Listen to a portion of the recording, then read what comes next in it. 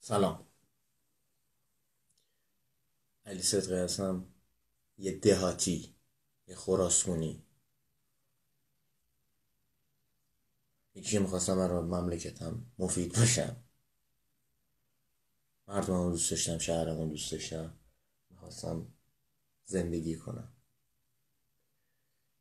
مدام اینجا به چالش دعوتتون کنم نه چالشی سطل آبی یخ.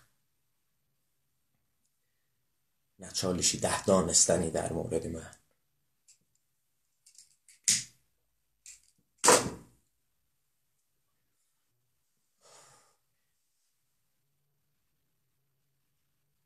دارن اسید میپاشن تو صورتی زنه به چه مردم.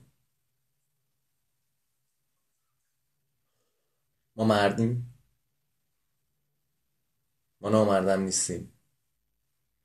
کاری ندارم کاری نه بیمار روانیه ده تا بیمار روانیه پنجاه تا بیمار سی ست تا بیمار روانی هر که هست.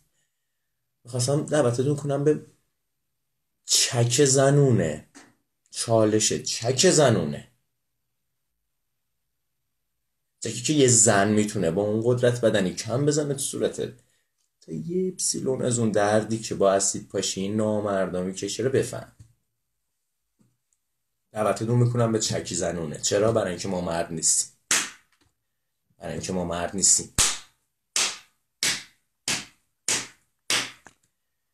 حالا دعوتتون می‌کنم به چالشی. مشتی مردونه.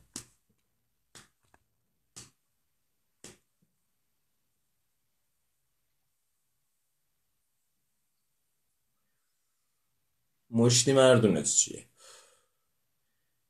مشتی اونا که رفتن جنگیدن شهید شدن. برا ناموسشون. اما خاک بر سرا این شدیم این شدیم. که تو صورت زنه به چمون اسید بپاشند و ما هیچی نگ بازم دعوتتون می‌کنم به چالشی. چکی زنونه.